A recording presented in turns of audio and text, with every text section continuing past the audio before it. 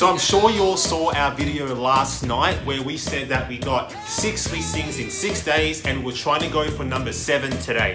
Well, guess what, ladies and gentlemen? Number seven just came through. That's seven listings in seven days. Amazing.